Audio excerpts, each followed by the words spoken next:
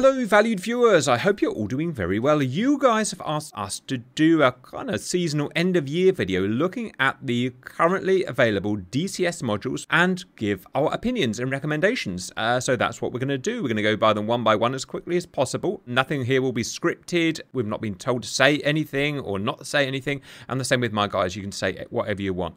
In terms of format, I'll say a little bit about the aircraft and then you guys come in and try and be as concise as we can and we'll get through as many as we can. Viewers, it's going to take a while, probably at least an hour. So please get your coffee and get ready. One more thing, I apologize profusely for my voice. I'm really struggling. I've had all the throat sweets I can stomach, uh, but we'll just do our best. So we're going to start here on the official page. So we'll start with the latest aircraft, F-15E by Razbam. This is an interesting one. When it came out, I didn't have a huge amount of interest in it. I know everyone else did, but I didn't. Uh, my thought was, oh no, not another horrendously over complex multi system fourth gen aircraft to learn and remember. But you guys requested I do some tutorials, and I started doing that, and I started reading the 600 page manual and getting more and more into it. And the more I got into it, the more I started falling in love with it. It's kind of, it's very complex, but manageable. And it's kind of quirky, I would describe as well, and a little bit awkward compared to some aircraft like a, an F 18. And it's not actually that, uh, how do I say this? It's not super overpowered. So one of the reasons I'm not into the Hornet so much and I take the PP out of it, viewers, is because it's so good. And that's what happens when something is really, really, really, really, really good and I take the PP out of it. The F-15E isn't hugely good in that it can't shoot things 150 miles away. The best weapon really it's got is a JDAM, so it's a challenge. And to do missions against even kind of 1980 SAMs is quite challenging, and I like that. I like the underdog. And so it's really grown on me, and I've kind of fallen in love with it. It's now the main thing I fly, uh, weirdly enough to give it some kind of structure, let me just blast through the uh, standard stuff. It's multi-crew, so you can have a guy in the front and a guy in the rear, and both can fly the plane and do pretty much the same stuff, more or less. It's a land-based aircraft, obviously. It's a very powerful air-to-air -air and air-to-ground mapping radar with loads of features. Navigation, it has EGI, uh, or can have EGI, so that's GPS and INS, which is really good. It has TACAN, uh, it has ILS. I can't remember whether it is ADF or not. Um, it has a T-pod. It's a ghastly one from the 1980s, early 80s it has it at the moment, but it will come, I think, with a better one later on. Uh, weapons, air-to-air. It has uh, mid-90s AMRAAMs, uh, medium-range missiles. It has early 80s Sidewinders, close range, and a gun, air to. Air-to-ground weapons, an assortment of dumb bombs, cluster bombs, laser guided bombs that can self guide, and it's just got its JDAMs, and it's probably going to have a bunch more stuff coming out, but I don't actually know what. Maybe the boys can fill me in on that. In terms of graphics, interior and exterior, it's about as good as it gets, as you'd expect. Inside looks beautiful, outside looks beautiful, absolutely no complaints at all. Sounds, some people like it and some people don't. I am a liker. I think the cockpit sound, the levels are perfect. One thing that bugs me in DCS is really loud cockpit or really quiet cockpit. This is nice and balanced. I don't have to mess around with my sounds. Outside, it sounds, I think, the best plane, to be honest, so that stuff's good. Kinematics, um, I quite like that they haven't made it an OP thing. It doesn't dogfight like a friggin' F-16. They haven't tried to make it win all the dogfights. It feels like a giant heavy bomber, and well, because it is a giant heavy bomber, and I like that. It, it, again, it's quirky. It makes it feel not overpowered, a bit of an underdog, so I like it. Flight model, um, well, I don't know what a real F-15E feels like, but it all feels, as far as I am concerned, realistic, so I'm happy with the flight model, and I've got no problems with that.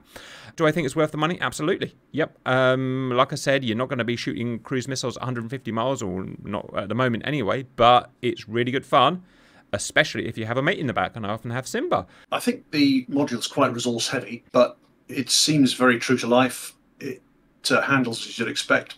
The systems are a little bit, as Cap says, sort of 80s, 90s. They're a little bit behind the, the, the, cutting edge that you get in some of the other modules like the F-18, but I do like it. I, I, I haven't got into it yet, but I think I will be flying it a lot.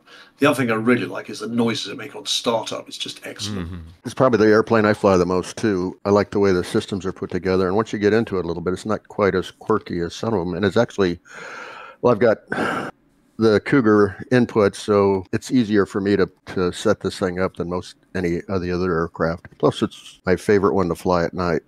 It's still early access, so like very much a newer plane to the game. So we all know like these planes take years developing before we see them. They take years of developing once they hit early access. So I'm excited to see where this plane's going, what they've implemented so far. I think they've done, they have actually done really well with. Uh, it's like Cap said, nothing's overpowered.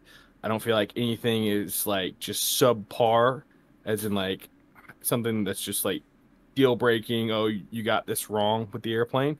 Uh, I would say if I had any complaints, it would be the actual the manual. Learning, like reading the manual, trying to get stuff right for tutorials.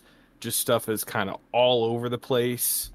Uh, we find ourselves like going back and forth hundreds of pages within the manual to try and link things together. So if I if there was one thing I would request to get better on, it's that manual. I think that manual can be very daunting to somebody that doesn't have a lot of background in the game. And if this was like a first plane they were trying to learn and they were trying to read the manual, they're going to get real lost real quick. Fair comment. I'm really into the ED manual, manuals. I think they're very well written, but some of the third party are difficult to follow. Yeah, I, I like it. I just um, I'm a bit like Simba. It's to me, it still needs that development process. It's still lacking some stuff, especially if you're trying to do dual cockpit stuff in a multiplayer server there seems to be a weird desync. So sometimes the rear seat is doing their work, and then when the front seat comes to drop it, it doesn't drop or it goes the wrong way. There still needs to be a little tweaking um, for it to be an, an excellent module. It's a good module. It needs to be a little more tweaked to be excellent.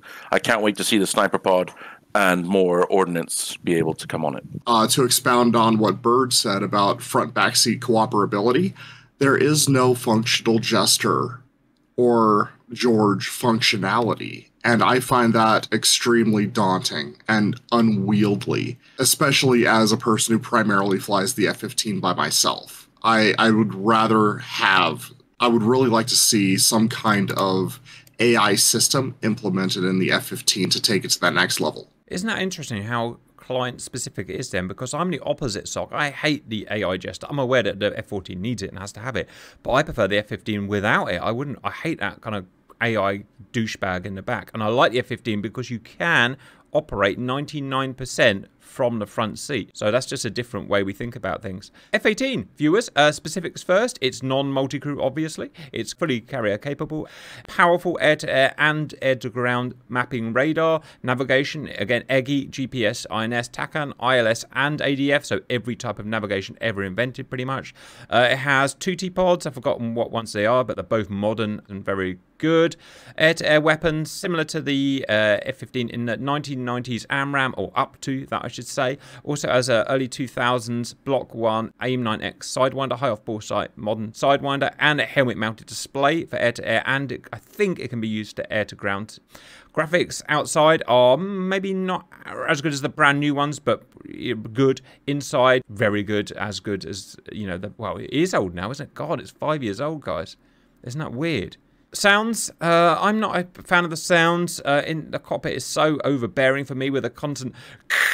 I think they've just tried to make it so realistic that they've put this giant hiss in. It drives me absolutely nuts. But okay, some people like it. Outside, it sounds fine. Kinematics, um, I would I would say kind of eight out of ten. I've always found it a bit floaty, but I obviously don't fly a real Hornet, so I don't know how realistic that is. Uh, but generally, pretty good. Flight model, um, otherwise, is, is spot on with no other major problems. Um, my personal views are that um, this is this is the best plane in game viewers. If you want to, overall, if you want to blow stuff up on the ground, this is the one. It has everything. It has long range missiles, powered missiles, slams, JSOWs, JDAMs, bombs of every description, color, and creed. It's just so vastly multi-role, and that's kind of the one of the reasons why I don't like it that much. It's the big dog. It's the one that everyone wants because it can do everything, and it bores me a bit. Unlike the Eagle, which is kind of finicky and a bit awkward and a bit ugly in the way that you have to do things. This is super, you know, I call it the green button because you press one button and basically something blows up 500 miles away. So that's why it's just not my type of thing. Now, the vast majority of you don't think like me and you want that, and so you go and buy that, and that's why it's the best selling module, and that's great. Uh, but that's why I take the PP out of it. I'm just not that into it because I prefer more of a challenge. It's one of the best BVR fighters. It's probably overall the best dog fighter. Some of you may disagree, and definitely the best air to ground. Is it worth the money? Obviously, yes. It's technically the best thing here, but that's my view. You guys? Yeah, it's my favourite module. Uh, does everything very well. Just has a little bit of a thing against some something like the F16 in BVR, but all as an all-rounder, it's epically good. The module doesn't take up a lot of resources. It flies really nicely. Some very minor complaints about things, certain aspects of the flight model, but it, it is my favorite model. It does everything. It does it pretty intuitively. You know, carrying landings and stuff. It's epic. When people ask for a high fidelity module, what's your recommendation? I'll always say F-18C. It's the one plane that has ordnance carrier capability to do pretty much every aspect of what you can do in DCS. The one size fits all. You can do carrier stuff, you can do anti shipping, you can do ground, you can do SEAD work, you can do air to air work. It's a really great jack of all trades airplane, much like the one in real life, which is why the Navy went with it. It's a really well done module. ED's put a lot of time and resources into trying to get it as close to right as they can. Like Matrix, you know, I've got my little complaints here and there when it comes to minute things within the flight model. Uh, it is a great dogfighter. If I were to complain, I would say I wish I just wish ED would have never put the paddle in, but it is hmm. an aspect of the airplane, so fair is fair. Overall, like yeah, I would say it's the must-have airplane. And if, if you're looking for a first high fidelity module to go to, definitely an airplane to go for. The biggest thing that I love about the F 18 is the, like you guys said, versatility. But as a mission maker, I really appreciate that I can fit an F 18 strike to any role that I want. If there's a gap that needs covered, I can rely on an F 18 flight to take care of that for me. Uh, no ifs, ands, or buts. I can just shove an F 18 in there and let people do their work. Something that I dislike. Well, like you said, the paddles. The paddles are great. I use them, but there's not a lot of recourse. And this is something for all jets in this, I guess. There's not a lot of recourse for overstressing the aircraft, not to the point of breaking or fracture, but cumulative stresses. We don't we don't model that. And I think if that was modeled, that would take away a lot of the issues that we would have with the paddles. I love the F 18. It's probably because it's probably the first module that I got really involved in as we said, carrier based. It can do nearly every role. My only gripe about the F-18 is not really the F-18. It's when I try and go to another module and try and learn it. I because I'm so used to the F-18, it makes me want to just go back to it because I know what to do. I need to spend more time on other modules learning them properly because I can just jump on an F-18 and I know what's going on. So yeah, it's a must buy. Next is Flaming Cliffs 3. I don't know why this is at the top of this menu, but it is. So very briefly, in case you're new viewers, you get two types of aircraft in DCS. High fidelity, like F-18, like F-15, where all the buttons and switches are pushed and the systems behind them are modelled or mainly modelled. Big 600-page manuals on all these aircraft. Flaming Cliffs 3 is the other side. It's a low fidelity, almost no or no buttons are pushable, simplified, almost arcadey. Now, not, that's not to say that they're not realistic in what they do, because they are. The flight models are nearly as good. The weapons are identical. The sensors are mm, similar. So they fit in the game, but they're much simplified. And it's very important to stress that a lot of people, I used to spend, I've been doing this for seven or eight years. I used to spend the first five years trying to help people into DCS. I don't do that anymore for reasons that I probably won't go into here.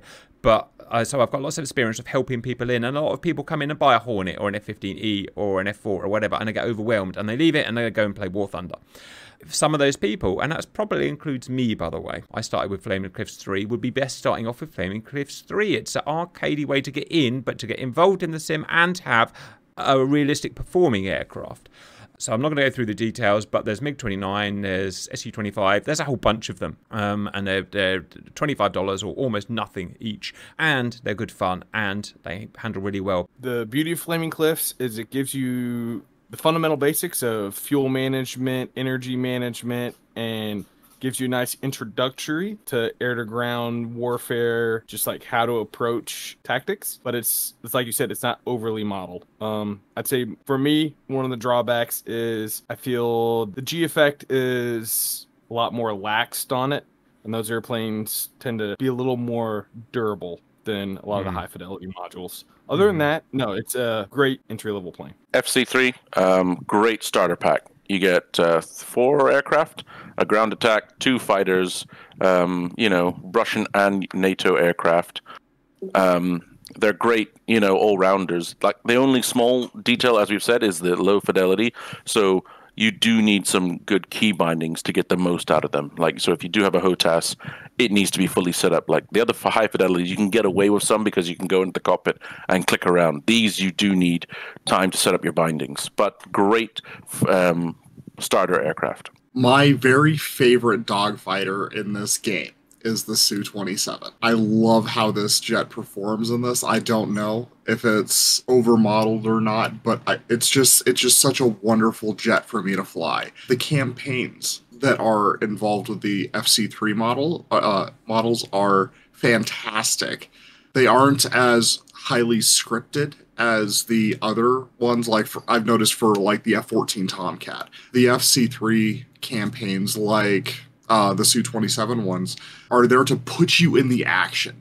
It, it is up front. Here's the action. Have fun. There's so much else you can get if you're looking for story and stuff like that. There's other modules to get into, but this one really shines by putting you in that cockpit and putting you where the action is right from the get, and I really appreciate that. All right, guys, let's move on. F-16C, we all know this one. Uh, specifics, it's obviously single seat. It is land-based only. It has a moderately powerful air-to-air and air-to-ground mapping radar. All the modern navigation that you would expect. It has a very modern T-pod, similar to the Hornet. Air-to-air weapons are the same as the Hornet. Air-to-ground weapons are like a limited version of the Hornets. It has some of the Hornet's weapons, like JDAM, laser-guided bombs. It has various unguided weapons. Uh, guys, does it have a JSOW? Can you remember the standoff weapon? We've forgotten whether it has JSOW or not. Uh, but it does. It doesn't have the huge array of the F-18. Graphics, I would say, on par with the F-18 and pretty much up there with the absolute latest. Sounds, debatably the best all round. Probably the best cockpit sounds overall, balanced perfectly. Tells you exactly what you need to know. Kinematics, it's probably the most kinematically the best aircraft here. Now, how realistic that is, I just don't know. Simba will probably know more than me. But acceleration, it's definitely the best. Uh, top speed, it's very near there. Low level top speed, it's very near there. It'll out dogfight almost anything. Flight model, uh, some people love it, some people hate it. I'm a lover. I think it feels really nice and I'm, I'm pretty happy with it. It's a really high alpha plane. It works with a lot of high angle of attack, but obviously once you learn that and you get used to it. My personal opinion, um, it's probably my favorite overall. Everyone needs that plane that they can just go to. It's easy to fly like the Hornet, but it's not as OP personally, I think, as the Hornet. Um, so it's a plane I don't have to practice. If I'm in a mission at any point and I need a plane I can just go to and I know how to use 90% of the stuff, I can just go there. Uh, it's got a big four 500 page manual but most of the time you don't need it because you can just figure it out through the screens press a few buttons and you can get it just by messing around with it so not a lot of rehearsal needed um, not really any annoying points as well. Lots of these modules have annoying things. I, Damp said he likes it when the wings fall off because of stress. I don't like that. It drives me friggin' nuts. It doesn't have things like that or many things like that that annoy me. So all round, it's my go-to plane. Um, like I said, I'm flying F-15 most at the moment, but it's not my go-to plane. My go-to plane is the F-16. Probably always will be. It's just not good enough to be completely OP, which is great, which means I can love it um, and it has its quirks as well. Uh, it's always the one I recommend over the Hornet and everything else. Um, I think it's the one you'll have most fun in. Obviously, if you're into modern fourth gen jets and, and blah blah blah, um, it is my favourite. Um, what do you guys think? I'm not a big fan of this module. Uh, I am warming to it. I have to say, I like the systems and the updates they've done recently, make it a bit more intuitive and a bit more um, capable. But the thing that really irritates me about this module is the flight module, flight model. It's terrible. I mean, it handles quite nicely, but it's not stable. If you're heavily loaded or not particularly fast, you release the stick, the nose waffles around. It, it's like an overloaded whale. Something like the Viper, if you fly the aircraft and you release a stick, it should instantly bing stabilize, and it just doesn't. It, the nose wanders around. If you try to air to air refuel at this thing, it's a pain in the ass. You have to work your ass off just trying to make keep the thing stable and level enough for the boomer to get the boom in. So much as I'd love to love this uh, module, the handling of the flight model leaves a lot to be desired in my view. Yeah, I don't have a whole lot of experience in it, but uh, one thing that's nice um, is the HOTAS interface. It's like the most simple, almost the most simple of the Generation 4 aircraft, which makes it mm-hmm. easier for me to fly. Mm-hmm. And another thing, it does have JSOW. I'm a 16 lover by trade. Uh, that has some some to do with my background, but I will say, much like the start of the F16 in real life and the start of the F18 in real life, they've always been in competition. They've always been in comparison. The F18 is the Navy's version of the F16, and you can say the F16 is the Air Force's version of the of the F18. Uh, they are both great multi-role fighters. I agree with Matrix. The the flight models got some wonkiness. I don't have the problems with air-to-air refueling, but I also ha- spend a lot of time in the 16. Um, but I do agree there there's a lot more flight model tweaking that I think they need to do, and I think some of it has to do with inputs of our HOTASs and how they affect the plane. Aside from that, I think the G model is uh, off in it. It's the one airplane in the game that's got a 30 degree reclined seat specifically designed to increase pilot G sustainability. And then I'd, I'd say the other quirk is like you said, like when it's it just reacts way too too much when one munition comes off. I've seen in real life a pilot jettison just one wing tank and not even notice that he lost the wing tank. So I feel like the the flight model reacts a little too much to when munitions come off. Other than that, it, it is a it, it is a fun module. Love it. Uh, same problems. Fly-by-wire model should be tweaked better. That it uh, it um is more stable when you're off, off stick. Um, but yeah, love the aircraft. Great aircraft. I, I definitely say it's 100% buy this if, if you want a fun, fast jet that you want to take into the merge with diff with a different thought process than just fast turn. Sorry, also, it doesn't have a crossbow in the canopy. So as far as like Oh, yeah. flying around maps, visual like doing low flights through mountains and just just enjoying the the feel of flight, especially in VR. Just not having Mm-hmm. that crossbow just gives you so much more immersion to the game, and it's it's one of the beauties of the plane. One amazing point Simba's just made. So you see this little bow, viewers, where my uh, mouse is, and another one. All planes have that, apart from the F-16, which has just glass or composite in front of you. Such a clear view. Now, the bow isn't a huge problem with uh, VR, course, you can kind of move your head around it. But if with flat screen, like I use, man, especially the F-14, it takes up like 50% of your view, and it drives you nuts. F-16, that's just so nice being able to see stuff. Guys, we better move on to the Tomcat. Tomcat specifics, multi-crew. Uh, so the rear guy does not fly the plane. The rear guy just does the radar and some other systems like that. So it's a little bit different. It's obviously carrier and land base. Um, massively powerful, although not necessarily easy to use because 1960s, early 70s radar does not have air to ground function, just air to air function. Nav it has non EGI, so it's INS, so watch out for INS drift. It will have TACAN, I suspect, yeah, it does, and it will have ILS. Um, it has a T-pod. again, like the F-15, it's an old cranky T-pod, 1970s LANTIRN, true to life, obviously, how it was back then. It's usable, but it's not like a modern super modern T-pod, so bear in mind that. It's uh, weapons, um, uh, 1970s Phoenix, which is, to be honest, pretty ghastly. Everyone says they're great in DCS. They're certainly not. I don't think they're very good anyway. Um, Sparrows, probably its go-to weapon overall nowadays, um, and 1980s Sidewinders.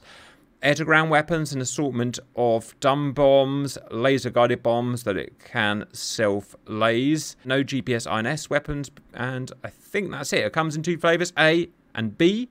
B with better engines and a couple of changed systems. Uh, graphics are probably interior exterior the best in the game, probably unsurpassed so far. Most people will probably agree with me. Sounds generally yeah, are pretty good. I, I still get annoyed by the flyby, which is problematic.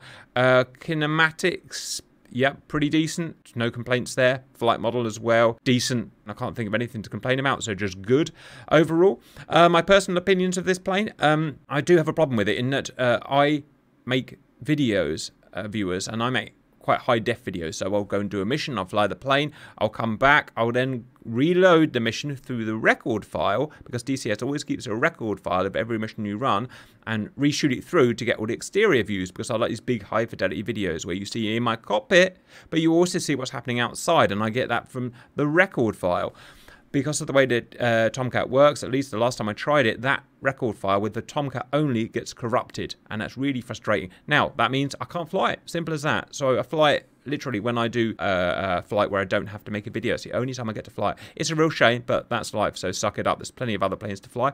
Um, otherwise, um, I enjoy enjoy flying it. That said, I don't really like the a the way you have to deal with the RIO. You have to deal with the RIO, the guy in the back. 99% of the time that's going to be an AI and you have to deal with it through this big kind of clumsy flower system where you kind of click on different commands. And I'm not complaining because I'm aware it's the only way to do it. Uh, so they've had no choice but to do it. But you know do I like it? No not really. But it's hard to find human RIOs as I'm sure you would all agree. I'll be honest I'll get a lot of game crashes with this but I don't get with other aircraft. Is that specific to me? I don't know. Probably but I do. But otherwise, top notch and you know infinite amount of time has gone into doing it, and it won't compete in air to air with F16 really, F15 uh, and F18. Its weapons are just a that bit older, but it's you know only on the edge of fourth gen really, so don't really expect to compete. It's very quirky, very quirky, even more so than the F15, with all little awkward bits here and there, and I like that. It gives it character, and I love character. So all around, I'm biased against it, unfortunately, because I can't use it. But I still think it's great, and I think it's definitely worth the money. Just bear in mind, it's a bit more niche than the multi-role fighters. Guys, Tomcat. The entire bit about the model and the replay, the replay being broken with it, that's all been fixed. They redid the entire track system, and all of that was fixed for all of the aircraft. So it, it no longer has that problem. Roger, we'll try. Heat blur is kind of a gold standard when it comes to these third party modules. The amount of detail they put in, the amount of time they put in, and when the product comes comes out, you can find flaws, but you you're really like getting into the weeds to find the flaws. I love how the airplane moans and creaks at you as you're pulling G's. Uh, the flight model is you have to fly the airplane. It's it's it's a real pilot's plane. It's not just let go of the stick and everything's fine, you know, fine and dandy. Uh, you'll lose lift in the wings like you will a warbird. The afterburner sound is amazing. Uh, Jester, you get a love hate relationship with him. Uh, sometimes you're like, Jester just can't find a barn if it was sitting in front of his face. And other days you'll be like, Jester can find something on the ground with the T pod and talk you on the target. And you're just like, you're so glad you had Jester doing the targeting pod and not yourself. Uh, it's a love hate plane, but Tomcat is a legend of the American skies. It's a great module, I think, of like all the uh, flight sims out there. That if you want to get into a Tomcat and have your Maverick fantasies, the Heatblur, Heat Blurs F14 in DCS is top shelf. From the contrary point of view, it's uh, my one of my least favorite model modules in DCS. It's not to say anything about the quality of the model. The quality is really good. It does seem a little bit resource heavy. To me, um, flying the damn thing, and I think it is reproduced very accurately in the way it handles the noises and all that kind of stuff. So, so it is fun in that regard, but it's it's just an antique. And the problems with the Phoenix, as the way the model in DCS is very frustrating because it basically detracts from the main role of the aircraft very significantly. I am sort of getting the hang of it, but it's never going to be my favorite module. It's the model that wanted me to get into DCS because everyone watched the original Top Gun. Everyone wants to fly an F 14. It's just such a cool aircraft. Um, my only downside is I wish I'd probably got into it before the F 18 because when you go from a modern aircraft to this, the F 14, you really have to learn how to fly it. Um, because the F 18, F 16, they'll save you if you do something stupid. The F 14 will punish you.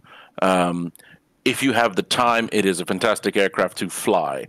The as Matrix pointed out, I think the Phoenixes are bugged. Um, they're not as great as you. Well, firstly, I think people think the Phoenix is an amazing missile and it will kill everything 400 miles away. It won't.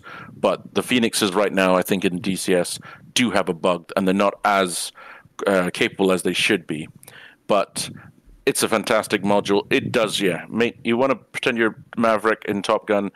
It's a great aircraft. Um, looks great, sounds great. Uh, just it will bite you in the backside if you do something stupid. The kinematic modeling of the Tomcat. Uh, correct me if I'm wrong, gentlemen, but the Tomcat does have a record in the DCS regime of having the highest sustained turn rate. And I yep. can tell you that in a two circle fight with me and a Su 27, the the only aircraft that I fear is the Tomcat. a, a Tomcat with a highly skilled pilot in a two circle fight is is unbeatable Agree. in a in a guns fight. yeah, you're almost and right. Yeah. uh, from there, it's it's absolutely amazing. It's what got me into DCS. To this day, it's my it's my most fun aircraft to fly.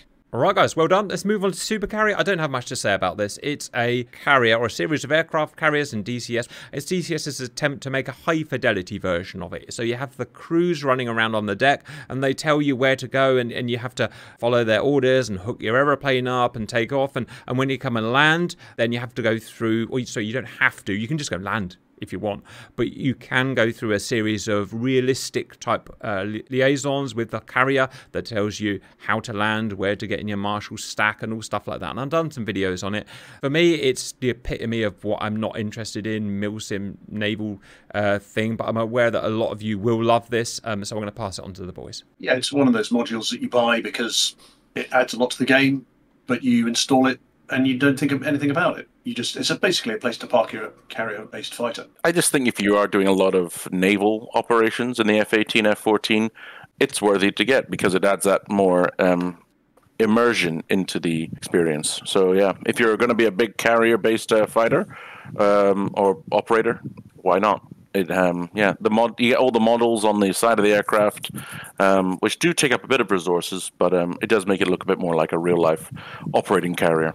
Following the development plan and what uh, ED has been teasing for what's coming out in the future with it, it's uh it's gonna add some non-flying uh, fun that you can do in the game. I, I look forward to seeing the updates, the big updates that ED has planned for it. Sounds like they're trying to bring them uh, to public in the near future. Keep your eye out for the future of the super carrier module and what they're doing with it. Does anyone know if this would be quite an important point? If you have a multiplayer server, which a lot of play, people play on, it has a super carrier in it, and you don't have the super carrier installed, and you've got your F-18, can you still operate from that carrier? Can you take off? Can you spawn on it? Can you land on it? Or does it just magically block you? Obviously, we've got no way of testing because we all have it. I was going to say, from what I understand, um, you need the a, a different carrier for non super carrier people because the wires will not catch on it for a person that that doesn't have the module. Super carrier is always, oh man, it's going to be so cool when fill in the blank, and it's always look at this really cool thing that they're about to do. It's just around the corner. I'm excited for what Super Carrier's future is, but if I'm only going to go off of what Super Carrier has delivered so far, I don't think it's worth the $24.99 at half price. I'm excited for what it will have, and maybe it will be worth that.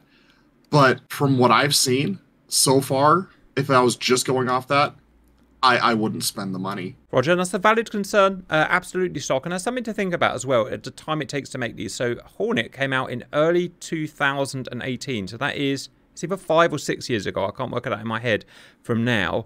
And it's not it's not finished yet, is it, guys? It's still being developed five or six years later. Yep. And I'm not. They still call it yeah, so it's still early still access. call it early access. I'm not complaining, viewers. That's what we sign up for. It's what we pay our money for, and, and so be it. But just bear in mind, these things can take more than half a decade to make. So, yeah, Super Carrier, I'm sure, is no exception. Uh, anything else in Super Carrier, guys, or should I move on? Well, everybody has it. It's almost like it's mandatory to have it if you're going to do any kind of naval ops. That's probably the most important point here, right? Yeah. If you joined it, you join Grim Reapers, you have to have it. So, yeah, fair enough, guys. All right, let's move on uh, to some bigger modules, guys. Um, AH64. Oh man, this one's really embarrassing for me, I'm afraid, viewers. But that's my life. I'm basically one big embarrassment. Um, so it came out, I don't know, a year ago into early access, and it came out a bad time when I felt that the main core developers were treating me or GR very badly, and so I deliberately didn't learn it properly. So I'm stuck in this position now where I never actually learned it properly. I never sat down and went through the manual, and I could take off and fire some missiles, but I don't really know anything about it otherwise, and I don't know what I'm going to do. Do I go back and start and learn it properly and do all the videos and stuff, or or not? So for that reason, I'm kind of stuck. I don't really know it, but I'll go through the basics. Multi crew, yes, you can have a pilot in the rear and a human gunner in the front, and I think both can fly it, share various systems, and I'm sure all of that stuff is very well modeled. Like I, I don't know at the moment. Obviously, it's uh, land based, but it can operate from uh, aircraft carriers if you want. Perfectly fine. It's got, it will have a air to ground radar. It does not have it yet. Um, navigation, I don't know. Sorry. Uh, T-Pod, uh, kind of, yeah. The, the guy at the front there uh, has a, a, sensor suite of IR and kind of visual sensors at the front there, but again, I don't know a huge amount about them. Air-to-air weapons, not really, no. Air-to-ground weapons, uh, Hellfire, two variations of unguided rockets. Don't think it has bombs uh, and a chain gun that's quite cool, and you can aim that um, from either seat. Uh, graphics, ooh, I do know about that. Yep, pretty much perfect, to be honest. Um, runs a bit laggy for me. I've got a moderately decent PC, I don't know, four years old or something. Uh, whenever I'm in this helicopter, particularly, it goes quite slow for me. Now, is that a me problem? Maybe, but it's just a, a thing. Sounds perfect as far as I'm aware. Kinematics, meh. Uh, feels like a big heavy tank, which I suppose what it is. If I want a helicopter that feels nice, I go to the Huey. Feels lovely um, as it probably does in real life. I don't particularly like how these big attack helicopters feel, but it's probably a me problem, to be honest. So I'm sorry, viewers, I don't have much opinion on this for the reasons I've said, so uh, you guys will give me a better idea. I think I'd rate this as my favourite module in DCS at the moment. I am flying it quite a bit, and it is epic fun. You can't approach it like with a, an Mi-24 Hind, rush in with your rockets, you know, wave of four or five Hinds all firing at the front line you need to develop the tactic to hide behind hedgerows and buildings and stuff pop up. Get your CPG to pick out targets, lob off the, uh, particularly the radar hellfires. They're really good. Um, they're fire and forget. You can ripple off those very quickly.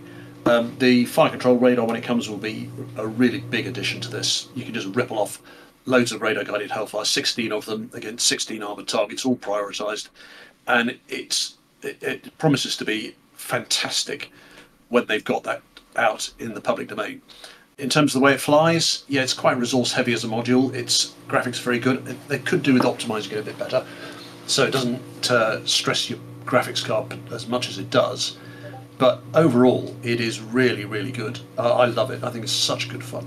Yeah, I agree with Matrix on everything he says. The thing I don't like about it is the flight model that much. I don't think it's very representative of what a real helicopter does. But if you're need a helicopter to go take out ground targets, this is the one I would pick. Yeah, it's my go-to when I'm doing. If it's available to ground assault or ground attack, I'd rather have an Apache. Um, it is a complicated aircraft to learn, I would say. If you're coming from fixed-wing aircraft, uh, you may want to look at the Huey first, get used to how helicopters operate in DCS in flight, and then when you're ready, go on to the Apache.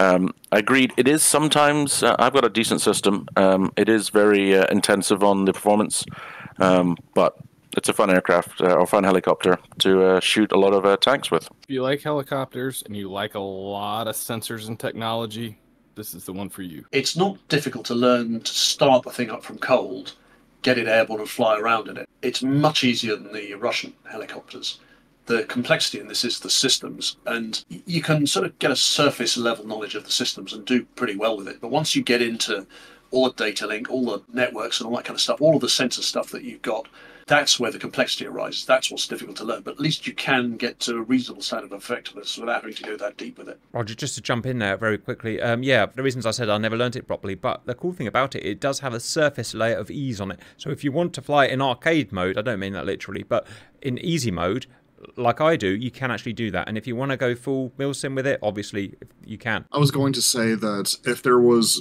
one module other than the F 15 that truly embodies the doctrine of own the night, it's the AH 64. No other helicopter can operate at night as efficiently as it does in the day like the AH-64. There you go. Um, I don't think anyone said go and buy it or not. Uh, Probably. You guys, you, you sound like you'll think it's a good buy. It's it's a great module. It's worth it's worth the money. But if you're just dipping your feet into helicopters, it's a I would say it's one of the helicopters that's on a on a steeper learning curve. I I do appreciate the fact that the George is highly competent both at his flying of the AH-64 and of his operation of a lot of those uh, systems. So if you want, like like Cap said, if you want to offload a lot of the system's usage from yourself onto George,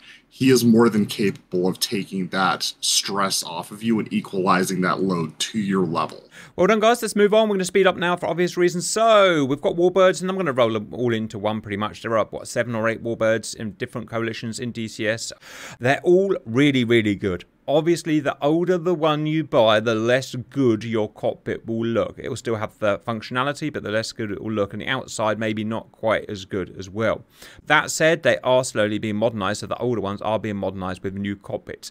Uh, which one do you buy? You can't, they're, they're all fine. The only one I would suggest not starting with is probably the Bomber. The Mosquito is a bit of a handful, but all of the others are really good starters if you're interested in high fidelity, very high fidelity World War II Warbird. Um, they're not pick up and play. They need learning. You have to understand how the piston engine works. Otherwise, you'll just burn your engine out every time and get really frustrated. If you want arcade E more of an arcade thing, go to IL2 game. That has more warbirds and they're much cheaper. Super high fidelity, these ones, they're great. They all carry about the same weapons. Some dumb bombs, some of them have some rockets, and obviously they have gun, and some have cannon. Um, some basic um, ADF or uh, direction finding nav on some of them. Um, and that's it. So they're not very complex in that they don't have many systems, um, modern systems, but they are extremely good. They're actually my favorite uh, in terms to fly, uh, pretty much all of them, especially the Mustang.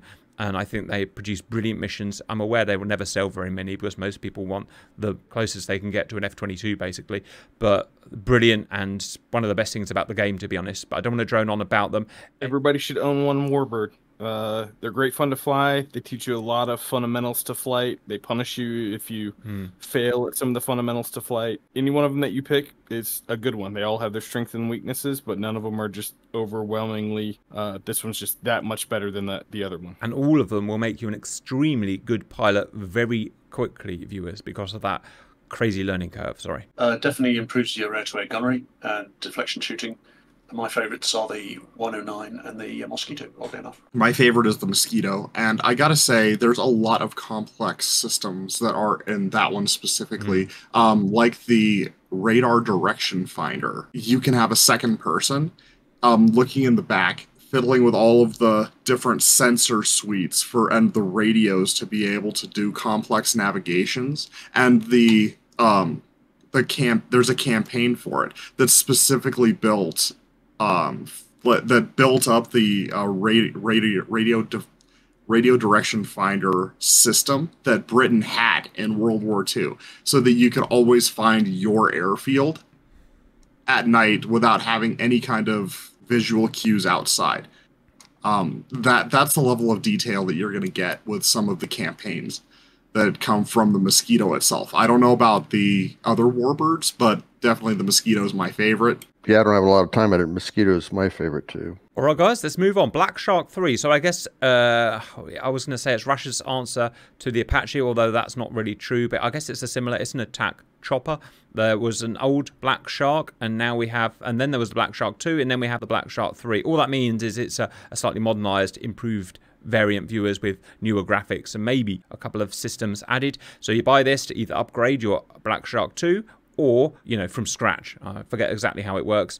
For me it feels a bit like the apache a bit like driving a big heavy tank which again obviously is what it is. It has moderately similar systems uh, an old T-pod type optical system. Uh, interestingly the black shark the Ka-50 what this is only a few of them were ever made. It was actually the Ka-52 that went into mass production. Guided missiles dumb rockets laser riding missiles bombs even amazingly uh, 30 mil directional semi-directional cannon um, with uh, plenty of 80s modern-ish systems in it and plenty of quirks but a good solid chopper and a good module if you're into russian attack choppers which i'm not but a lot of you are Not to get dig too deep into it, the way you fly it is different than other helicopters with its uh, trimmer, like auto directional type flying system. It is that twin rotor. So it's enough different that if you want a different feel of flying a helicopter, it's a great module. Uh, Black Shark 3, like I said, added a lot of systems, but I'm just going to kind of keep it short and sweet with that. Yeah, I think it's the uh, easiest of the helicopters to fly because basically the autopilot's on the whole time, uh, so it keeps a lot stable. But I think I think it's probably of the helicopters I fly, it's the most maneuverable, and that has to do with the the dual main rotor system. You don't have to worry about uh, a lot of things you have to worry about with uh, other helicopters, like hovering downwind or sidewind or any of that other stuff. Um, the thing I have a problem with it, you can't really see out of it very Mhm. well. But uh, and also, like I said, the sensors are not quite as good as the AH-64. So um, I like flying it, but if I have to go shoot something, I'll take the Apache. Yeah, one thing to add also, it has a, it has the ability to do air to air. It's not the best, but um, you can shoot down stuff with um, air to air missiles on it. It takes a while to get used to them, but um, yeah, it's uh, it has a bit more capability than the Apache there only. I love the Black Shark 3. It is near and dear to my heart. It is as if somebody said, I want sharks with frickin' laser beams attached to their frickin' heads, and they made a helicopter out of it. This helicopter is extremely fast. It's a single pilot against the world. Whereas all these other attack helicopters, you've got a second person to be able to offload a lot of these uh, complex problems and systems off onto. With the Black Shark 3, it is you and the machine. That machine will do anything that you want it to do. It'll do backflips, it'll do barrel rolls, but you have to get skilled enough and have to want to become a part of that aircraft so much to be able to do it. It's it's hard it's hard to start learning, but once you get good at it, it's probably the best um, long range sniper platform of the attack helicopters based on its long range cannon that can that is so precise that it can swat out air moving aircraft side uh, moving moving transversal. It can swat them out with just a single gun push and a laser str- and a- laser designation it's its cannon is absolutely wonderful the Shkval is hard to use, especially at night. Um, you don't have a George AI to be able to pick out targets for you. You have to be able to look in that flur and see its Gen 1 or Gen 2 optics and be able to pick out targets miles away with it. But if you can do that, if you want to pick up the mantle of that challenge, the Shark will never disappoint you. MB339, Italian training aircraft, subsonic, has stun bombs, has rockets, nothing guided, cannon pods. It's pretty decent if you want an Italian training aircraft. I've got no problems with it. Anyone on MB339? I've had it. I've only flown it like three times. Don't go to sleep on the these small trainers, light bombers, uh, light attack airplanes. The teams that have built them, they've put a lot into them. They are fun little airplanes. Uh, no, you're not going to go Mach Mach one, Mach two in them, but they are set up to give you a lot of lessons on principles of flight, navigation, and doing uh, calculated bombing runs. So own one of these. You don't necessarily need to own them all, but whether it's this, the C101, or the L39, all three are fun little modules. Yep, it's a training aircraft, so yeah, it's designed to hone in on basic skills on jet aircraft. It is also an acrobatic aircraft used by some of the um, air forces around the world, so it has a little fun there. Matrix and I um, have had a little bit of experience with these uh, training aircraft before. I remember when I asked Matrix to teach me how to fly in IFR conditions. Um, what I noticed is these training aircraft have exactly the kind of format, front seat, back seat, that is conducive for teaching and learning the fundamentals.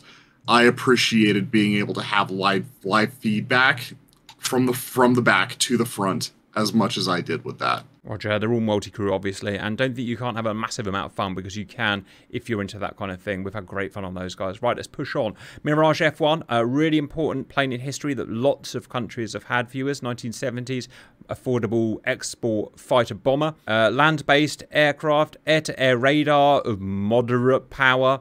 Uh, nav systems. Uh, it has INS. It has uh, TACAN. I can't remember if it has ILS. Sorry. No T-pod. imagery or that kind of thing. Air to air weapons, moderate 1970s weapons, ranges of up to about, what, 15 miles maybe, guys, if we're lucky. Uh, air to ground, a series of unguided bombs, unguided rockets, no guided air to air as far as I'm aware, at least at the moment.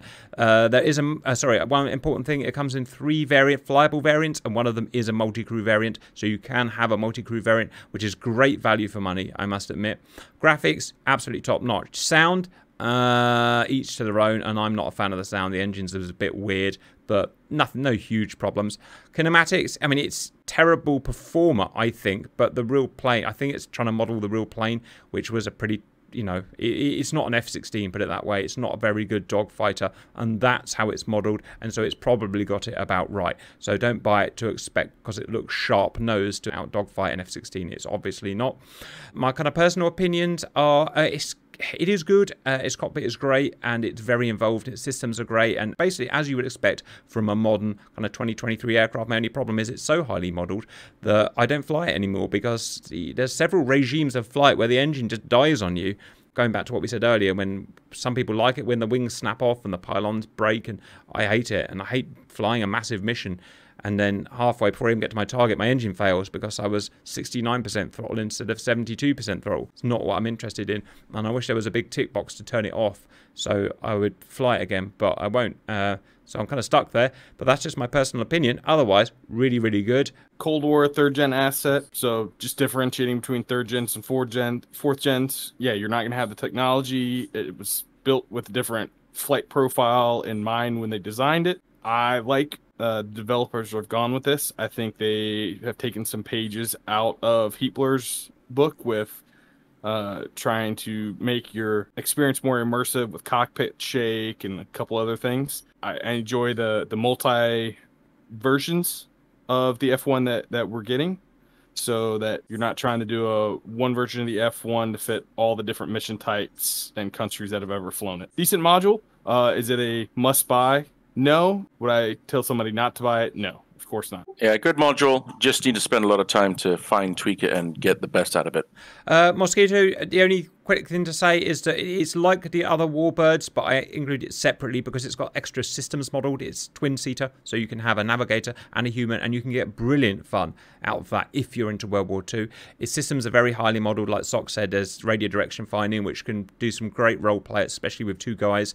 So, and you can manage your fuel and do stuff like that. So, I don't want to go any further other than to say it's just like the other Warbirds, but with, with a little extra oomph. Uh, brilliant. I wouldn't start with it it, I think it's very hard to fly, so it can be frustrating for a noob.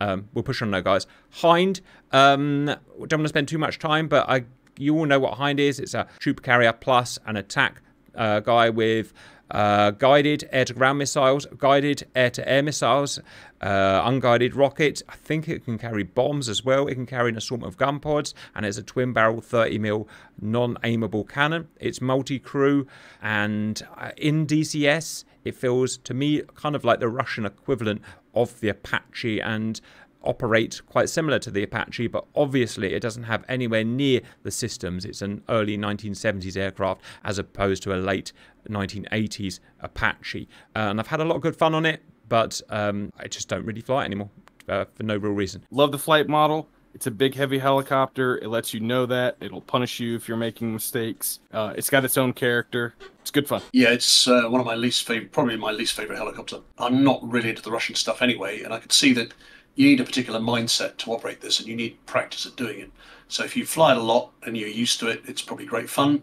If you're just dabbling in it, yeah, I, I, I yeah, you're, you're not going to like it much. Yeah, definitely not a jump in and go setup air um, helicopter. So yeah, I don't enjoy it. I thoroughly love the Mi-24. I don't think I've ever made that a secret. Mixed reviews, but it is solid. It's solid, absolutely solid. A10C viewers, it's been out for what 14 years now, so I don't want to go into it. Usually, it's an up. The two is an upgraded variant with some um, extra missiles. Very quickly, land-based, single crew, no radar, all types of navigation, modern targeting pod, Sidewinder air-to-air weapons, a huge assortment of ground to uh, air-to-ground weapons, but I don't think any standoff weapons, by which I mean 100 mile or 50 more miles. So it tops out, I think, a Maverick, an APKWS laser-guided rockets, and JDAM bombs, so range, you know, 5 miles or something like that. If you're into loitering above a target, doing CAS type work, uh, it's the best, obviously, and it has that lovely big gun. very complex, lots of systems to learn. Not my cup of tea. Uh, so I don't fly it very much, but I'm aware that 99% of you seem to love it, and a lot of you started with it.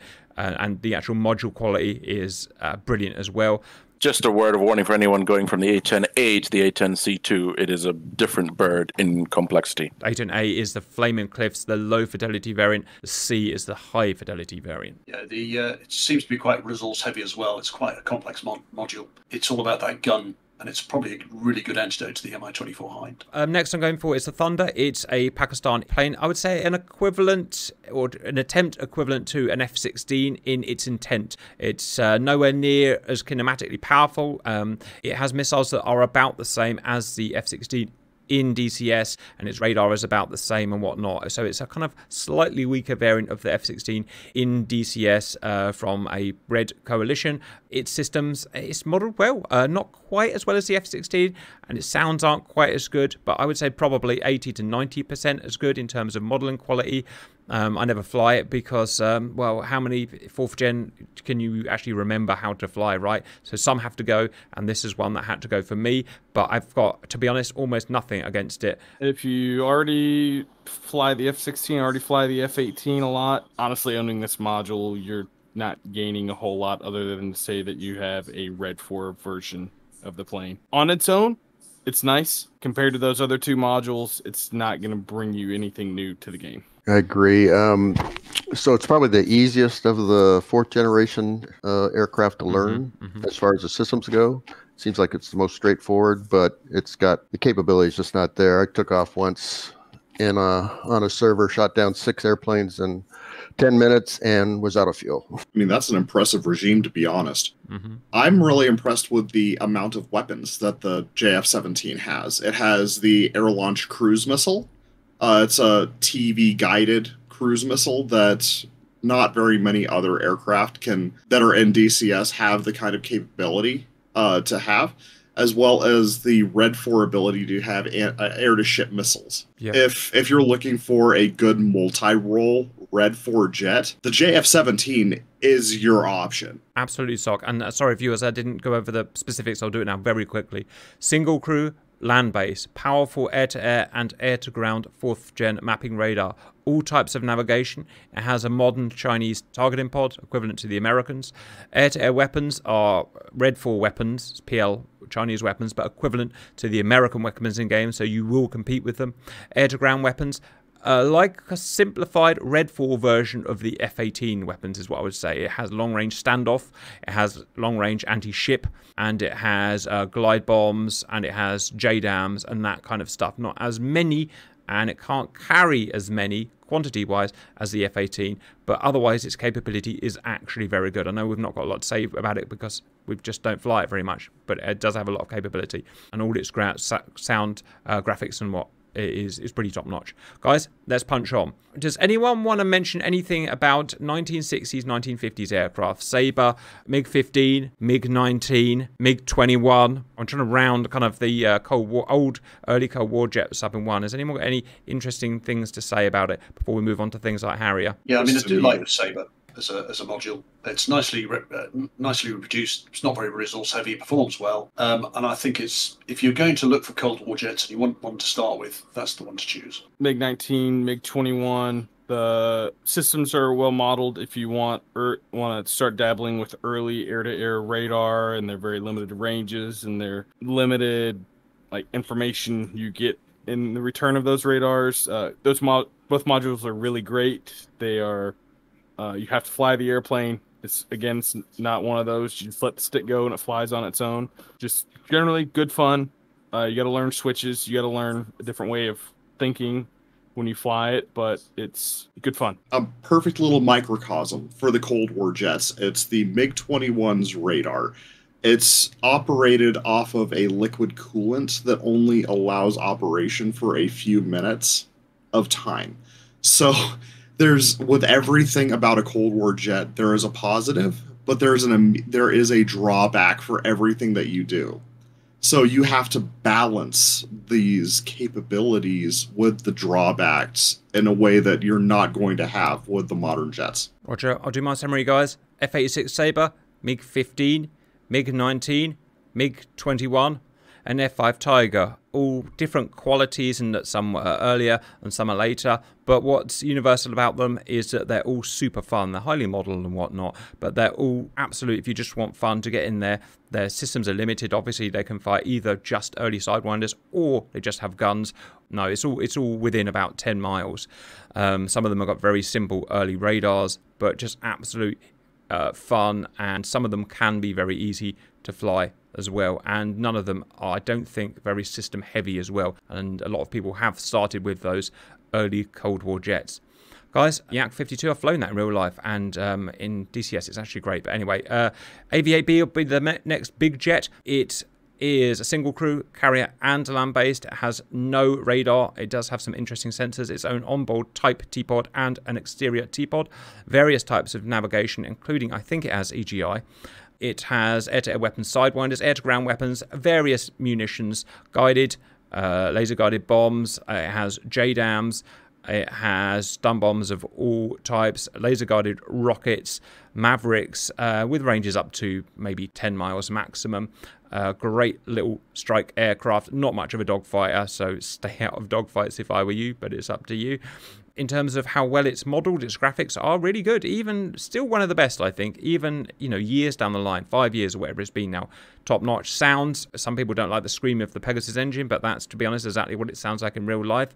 Kinematics, I think, are really good for what the aircraft probably would have been like, and I've got no problems with the flight model. It's pretty easy to stall, but that's how it was, and it's fully thrust vectored, and that's all modeled, which is pretty good. It's always been a, a favorite of a lot of people, and it's sold pretty well as well. Hence, probably why it's still seventy dollars. Uh, some people won't be interested in it, but a lot of people will. It's got no radar, so it's not going to do beyond visual range, but for striking, it's pretty good. Guys, what do you think? If you like to do casts, in the A10, but you wanted to do it from a boat, this is where the Harrier comes in. Great naval complement to the land-based A10. And it's twice as fast, so that does have some uses as well. Uh, it's, my only... one of my favorite favorite modules. Um, nicely modelled. The flight regime, flight model is really good, particularly with the unique vertical th- uh, vector thrust, enabling short takeoff and vertical landings. And it's it's unique, so it has that unique appeal that you could take off a ship, come back and land vertically. It has performance limitations, but generally it's a very very nice model. Yeah, my only gripe is I wish we had a Sea Harrier variant with a radar. It's just much more niche is the problem with it, but yeah, I get it, yeah. That's Harrier. It is genuinely good. Gazelle, I'm just going to breeze over this quickly. It's a light scout slash attack helicopter. It can come with guided air to ground missiles, guided air to air missiles, which have just just been unbuffed, but are, but are still okay. Um, rocket air unguided rockets. Uh, and a cannon pod. It's multi-crew and can be fully multi-crewed, which is cool, as I think all the helicopters can now yeah. be. Yeah. Yeah. You are. This is the navigation system. My apologies, guys. Yep, oh, I didn't even see that. Historically, its flight model has always been a bit suspect, and a lot of people complained about it, uh, including me. It's been improved. It's still not as good as the other helicopters, but it's much better now. And I would actually, for that price, I would actually go and buy it. To be honest, it's limited ability because it's a small scout helicopter. Obviously, it's not an Apache. It won't carry 16 missiles.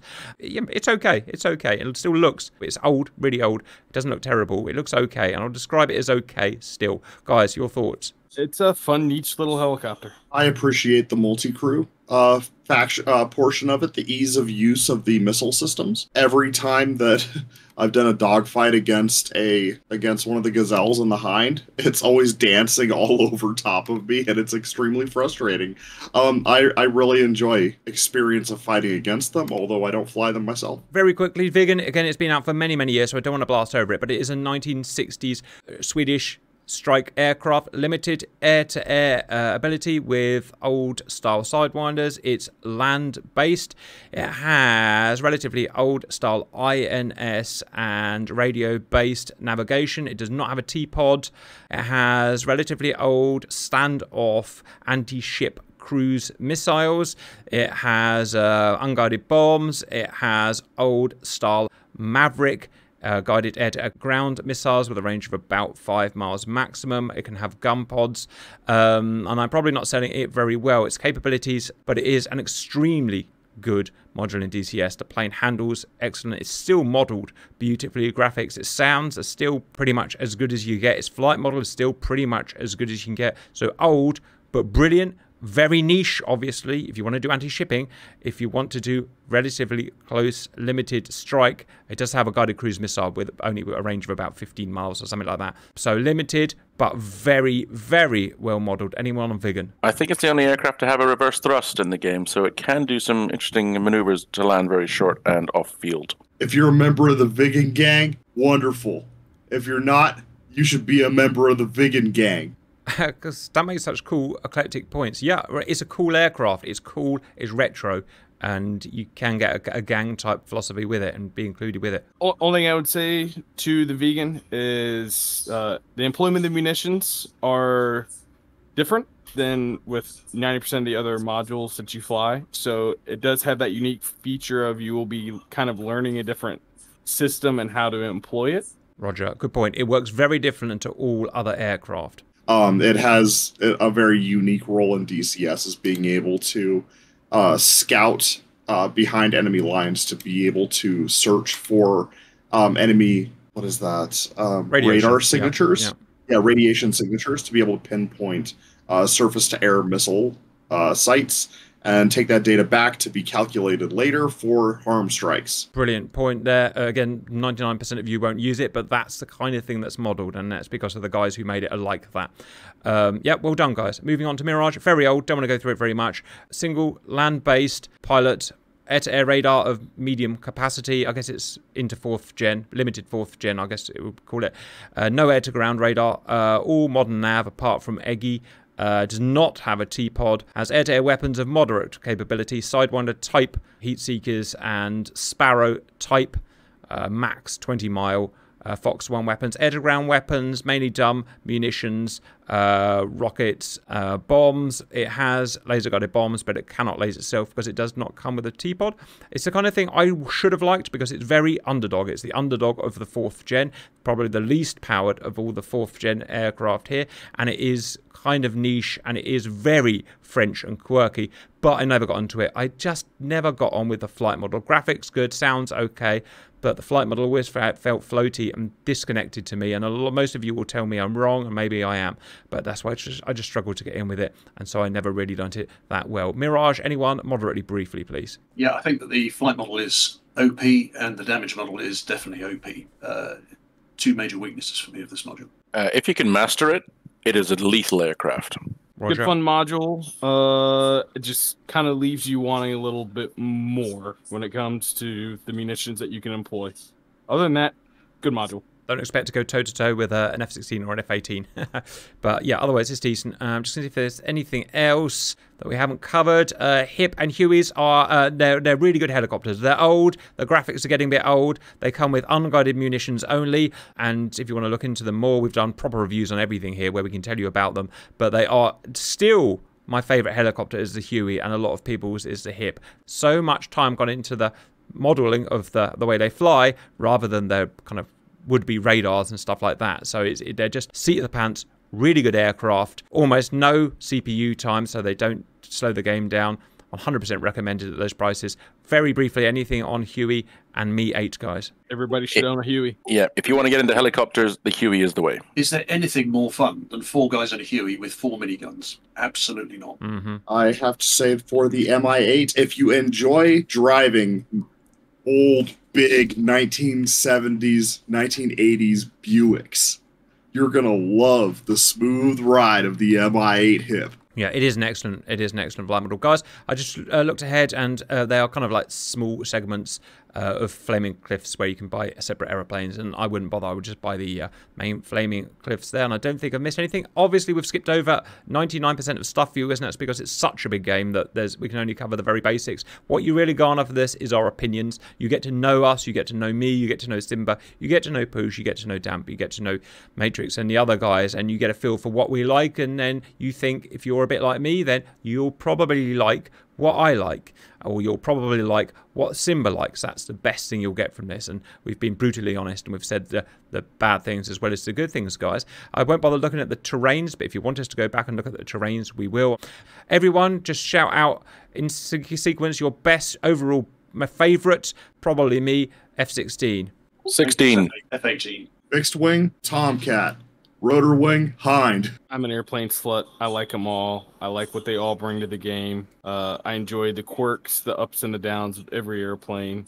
Um, variety's the spice of life, and I like birds' opinions. Cop out, Simba. Yeah, I agree with. You're flying the yak next time. I was going to say I agree with Simba. It depends on you know what I'm trying to do, um, which airplane is going to be favorite for the day, or which helicopter. Obviously, there are very complicated modules here, and the best thing to do, I think, is read the manual, get on YouTube, watch some silly guy who talks about how to get them flying, um, and join a multiplayer server, which is like a training server, like the Stoneburner that Grim Reapers have, because it um, it uh, will allow you to you know practice and practice and you'll find other people in there that you can maybe talk to and find out. So join a community get involved because that's the best way i think to learn these modules Sorry, one more thing, viewers. Uh, as Bird was saying there, um, I did this. I don't do it anymore because I don't really need to. But this is DCS modules, buyer guides, and reviews. It's on my YouTube channel. It's a playlist where I've gone and done thorough, and I mean proper professional, not what we've been doing here, just about our opinions, proper professional reviews of each aircraft, about an hour long each, into most facets of the aircraft to give a more empirical view at the modules and their capabilities. Like I said, I don't do them anymore because now there is free trials you can get from DCS, and there's not much really point me doing these when you can just free trial an aircraft and look for yourself. But I suggest you use this as a resource as well, guys. Uh, that's it. Um, I will link it in the video description, and I hope otherwise uh, you enjoyed this, and bye bye.